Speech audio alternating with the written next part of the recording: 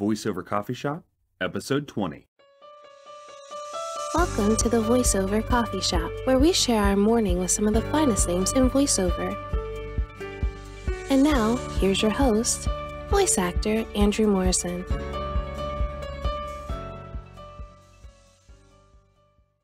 Hi there. My name is Andrew Morrison, and welcome to the VoiceOver Coffee Shop, where we start our day with some of the finest names in voiceover. If you'd like to know more about me, feel free to visit my personal website at www.voicebard.com. In this episode, we have coffee with my dear friend, Tom Aglio. Tom is your millennial voice next door who has lent his talents to Fortune 500 companies, explainer videos, video games, animation, and much, much more. In this episode, we talk about the most valuable resource to your clients, the principles of voiceover marketing, and emails and follow ups. Thank you, man. Thank you. It's an honor to be here. I'm excited. Happy to have you here, man. So, how are you? I'm good. I'm good. You know, busy. I'm, uh, you know, I'm a, uh, my son is going to be seven months and, uh, I don't think I've slept the last seven months, so I'm tired. but um, no, everything's good, man. Business is busy. Um, you know, it's I, I can't complain. I'm I'm I'm it's it's it's been it's been a good year. Awesome. So, Yeah. how do you take your coffee in the mornings? Oh man, black coffee. That's it. Black coffee. I'm I'm I'm I'm a plain guy. Um, that's I love. I just I love I just love like uh, I love just the rich taste of black coffee, Mm. and um, I don't know. I just I can't I can't do any of those creamers, man. I just can't do it. So, you started in the corporate world. How did Yes. that lead into you diving into voiceover? Sure. So I mean, I've been I've been acting my whole life. You know, I I've done I did theater forever. I did some on camera and all that good stuff. Um, you know, and and I had always loved video games and animation and all and everything. And you know, people had always told me like, you know, you have a nice voice. You really should look into voiceover. Um, you know, and at the time, I'm, I'm I'll fully admit I was like, you know, I, I want to be a real actor. I'm not, I don't want to be a voiceover actor. And um, you know, I was a jerk. And and then finally, you know, I just my my then girlfriend, now wife, you know, eventually was like few years ago, she was like, you know, you you've been talking about it. You really should try it out. And I just, you know, kind of built like a little makeshift studio in my in-laws basement and it just it just took off from there. So, So it was is- always something I was interested in, but you know, I never I, I needed the push, I think, to get into it. So, when you did make that leap, was it like a big risk leap or was it like a slow transition? Um, no, you know, it was I had I had uh I had stopped doing like I did theater for a while and I kind of was like stopped doing it for a little bit just because it was so time consuming. Um, and uh it was kind of like it was it was it was a leap in that it was like I dove right into it and really just you know hit the ground running with making the demo and coaching and all that good stuff. Um, you know, but I still held on to my day job and everything like that. Um, you know, while while I built up like my client base and everything. So, how do you feel like your um your time in the corporate world has Yeah. led you to be able to kind of communicate to other people in the corporate world when you're Yeah. marketing and doing your booking? It's been great. I mean, honestly, you know, it's it's funny. It's like, you know, even even even a job that is just so far from the creative, you can find things that will help in your in your in your industry, you know. And it's called show business for a reason, right? And I think that being in the corporate world helped because I know a lot of the best practices of dealing eh, with corporate America because a lot of times my clients are, you know, Fortune 500 companies, the the end clients themselves. It's not always a production company or an ad agency like an in-between person. Um, so it helped. I helped I learned the best practices. I learned what works and doesn't work in terms of emailing, the timing, the following up, and all that good stuff. Uh, and believe it or not, you know, I, I I learned a lot of good Excel skills um, in in my corporate job, and that really, really, really helped me stay organized in my business. You know, and because it, it it helps it helped my bookkeeping. You know, before I kind of got sophisticated with it and stuff. Um, it honestly it just helped me run the, the, the business at the day to day level. So I'm, I'm I'm very thankful for it. So, when you are marketing your business, how are Yeah. you portraying the value of what you do as a voiceover artist to these Fortune 500 companies? So what I do is, you know, I, I I look at what is a buyer's most important resource, like what is the most valuable thing to them, and it's something that I teach my students. And and the answer is time. You know, time is the one thing that they can't create themselves, and you can't really create it, but you can give it back to them. Whether it's time saved in you know your turnaround time they know that they can go to you because they needed you know they're at the 11th hour and they know that you'll turn around that project in you know in under an hour and and they don't have to worry about it time saved and that you can knock out an hour long directed session in 15 minutes you know and they get extra time back there time saved in in you know your response time you're very communicative and, and they don't they they don't need to worry that they're gonna have to wait for you to to go back and forth with them. So that's how i kind of try to present my business and i try to present myself is that i am there to save them time and time's the thing that all of us wish we had more of in every sense of the word. Um, you know so i, I want to make it known to them that i can save them time which makes their jobs easier and you know people like when people can make their jobs easier. Right. yeah And so you mentioned your students. What made you want to start as a voiceover marketing coach? You know, I um when I when I started marketing, I I, I started marketing in, in like April of um in April of 2019, Mhm. uh, and I had a, a a goal that whole year between 2018 and 20, you know, double my income that I made from 2018. Said okay, that's a that's a that's a pretty good number. You know, let, let's try to hit it. So I started marketing in April of 2019. I hit that goal in June, and then I hit and then I doubled that come September. And marketing was really a big part of that. And when I um I, I I I volunteered at the Vocation Conference, which is you know the only voiceover conference that I know of that's for the, for the for for the business side of it. Uh, and I was talking to to Karin specifically, who runs the Voice Actors of NYC group, and um, you know she I was telling her about my marketing, and she's like, "You got to come teach at the Teachathon."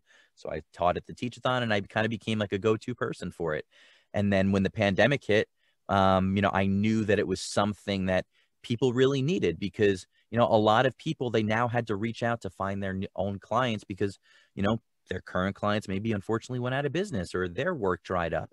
And uh, you had a lot of people coming from other avenues of show business who wanted to do voiceover because it was like the one part of show business that didn't fully shut down.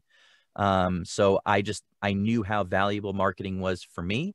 And uh, I, I felt that i wanted to give that back uh, and there had been like a demand for it um, in the past and i finally just took the leap and i decided to go for it So when you are um, doing your coaching, Yeah. what are some of the foundations of what you teach, like the the te- the principles of what you believe goes into voiceover marketing? you know I, I i tell everybody you know if you've ever sent an email in your life if you've ever made a phone call in your life forget voiceover you know whatever it may be then you know how to market it, it really is that simple and, and i can't tell you how many people come to me and say i have no idea how to market.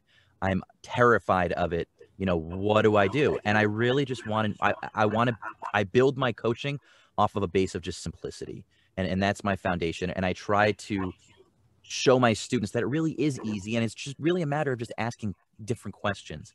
You know it's not this elaborate thing. It can be as elaborate as you want it to be or it can be as simple as you want it to be. There's no right or wrong to marketing um, but it really is not as scary as everybody thinks and i try to instill that into my students you know let them know that they don't need to be afraid of it um, because it really really is very very simple. And you're honestly i mean really the only thing that you can do for a client is make them money. I mean once they add you to their roster they already think you're good. You're just another name to give to their clients. And if their clients like the work that you do then their clients going to keep coming back to them. And so I, I like to I like to, to teach my students that that don't be afraid of it. It's simple, and uh, you know you're you're you're there to help them out. Gotcha. So what are your primary marketing focuses? Do you focus? What are you excited about when it comes in your inbox? Is it primarily animation or corporate, or what? What gets you excited when you see a script come in? I get excited, honestly. I I I, I definitely get excited um for commercial stuff, but also for e-learning stuff.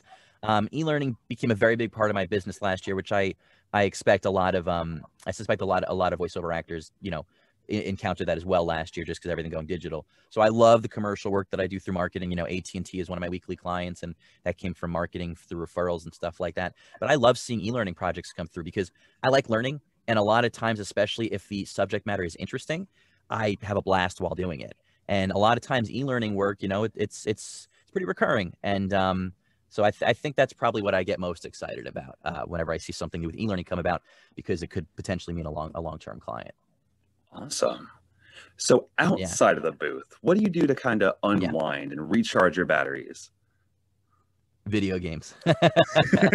Video games are my uh, that they're, that's my anti drug. That's uh, I've I've always I've always been a gamer, man, and it's so funny. I I, I was actually um I, I I used to play World of Warcraft, and and and I was talking to a buddy in the game, and I was you know talking about how, I, I, I'm a voice actor and stuff. He's like, well, what are you doing here? I'm like, dude, you know, I'm I'm a gamer first and foremost. A lot of us are are are, are gamers, you know, and this is kind of research for us. Um, yeah, I play video games, man. I, I, I just got a PS5, so I'm gonna be tackling that. Um, and besides that, you know, I love I love hanging out with my wife um, you know, and our son. And uh, most recently, my wife and I've been watching Agent Carter, the Marvel show. We're going through all the Marvel shows and movies in chronological order, so it's a big investment. Um, but but video games and, and and hanging out with the wife and son, those are my that's what I do to unwind. Fantastic, man. So, what are some of the biggest resources that have helped you along the way in your voiceover journey? Uh, the community. I mean, that is the biggest resource. Um, surrounding yourself with like-minded people is so important It just empowers you, you know, to do your best. And you know, even when you and I chat, you know, it's I, I, I don't know about you, but I definitely feel empowered afterwards, and we learn from each other. And mm-hmm. um, the community has definitely been my my most important resource because that's you know that's where I've gotten a lot of my my biggest jobs from is the referrals from the community. That's you know where I learned that I wanted to coach direct marketing. You know, it, it's the community's been my my biggest resource. Yeah, and without it, honestly, I I don't know that my business would be where it is now. It's just been uh, it's been so great to just make great friends in the in the in the in the industry and just kind of grow together and lift each other up. Absolutely. No, you definitely recharge my batteries, man. I love talking to you. Um, yeah, likewise. So, so, if you were to go back before, like, write a letter and transport it yeah, back yeah. to before your voiceover days, what would that letter mm-hmm. say? You mean like in like my corporate days, or like uh like right before yeah. I started voiceover, or? Yeah, like if you were to take um take a take a like write it right now, and you're writing it to to corporate Tom yeah. Um, honestly, it, it it would probably be don't be so afraid to just take the leap and and just try this thing that you've been wanting to try and talking about forever. Because I, I, talked about it for a long time before I actually started doing it. Uh, and you know, and performing was not new to me. It wasn't. Um, you know, but voiceover came with the added learning curve of uh, you know, the sound treatment and uh, eh, you know, editing skills and stuff like that. Um, so I could write a letter to to to old Tom before he started voiceover. It'd be, listen, dude this is going to be the most amazing ride of your life. Just just do it. Just jump in now. Go for it. It's gonna it's gonna it's all gonna work out. Gotcha. Okay. So what are your yeah. goals for the rest of this year? What are your personal business goals? So my personal business goal is to double my income again from last year. That's like my overarching goal. Um, other than that, you know, I've been I've been coaching with J. Michael Collins, who is amazing. Um, so I'm really really excited to take his coachings and put that more into practice. Um, and other than you know I, I i achieved a goal that i had been wanting to do where i booked a big uh, sag campaign for a, a, big brand which i can't wait to talk about once it actually comes out. Um, so other than that i would say probably to do more uh, more adr and dubbing and animation and stuff like that. Um, so double my income put the coachings into into into practice and do some more animation and adr because it became a big part of my business last year and it's so much fun to do so i definitely want to keep doing it. Awesome man. And where can people yeah. find you uh, I'm on I'm on all the social media platforms, Tom Aglio VO. And if you want to check out my website, it's www.tomaglio.com. Uh, if you're interested in coaching, tomaglio.com forward slash coaching. Um, email and uh, and and Twitter and Facebook are probably the best ways to get in touch with me. Fantastic! Thank you for coming on, Tom. Yeah. I greatly appreciate it. Yeah, man, this was great. Honestly, I, I ever since you started doing this, I've been watching your show and I, have I've been wanting to be on it, so it really is an honor. Thank you. Awesome. I'm glad you got value from it. Thank you so much. I really hope you enjoyed listening to Tom talk about how he went from corporate America to the trusted voice of multiple brands and businesses and continues to build himself up in his eternal quest to never stop learning. If you would like to know more about him or book his fantastic coaching programs, you can visit him at www.tomaglio.com com. Thank you for listening, and I'll see you next time. Thank you for listening to the VoiceOver Coffee Shop. For more information on guests, new episodes, and more, be sure to visit www.vocoffeeshop.com.